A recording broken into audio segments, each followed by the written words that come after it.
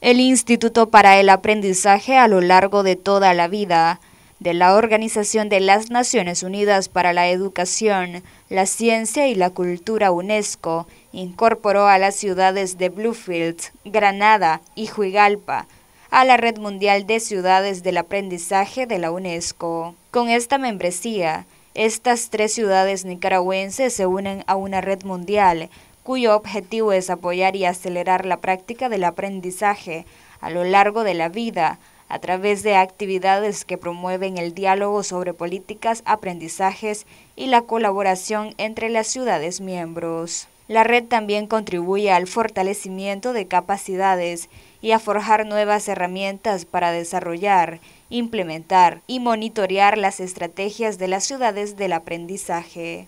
Actualmente, la red tiene 294 ciudades de 76 países en el mundo, de los cuales 10 países son de América Latina y el Caribe.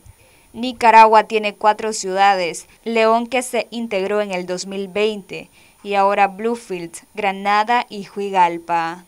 La UNESCO expresó en su comunicación que es un gran placer poder darle la bienvenida a las ciudades de Bluefield, Granada y Huigalpa a la Red Mundial de Ciudades del Aprendizaje de la UNESCO. La Red Mundial de Ciudades del Aprendizaje de la UNESCO es una red internacional formada por ciudades que promueven con éxito el aprendizaje a lo largo de toda la vida en sus comunidades. Incluye 294 ciudades de todo el mundo que comparten entre sí inspiración, conocimientos y buenas prácticas. Para Noticias 12, Luisa Centeno.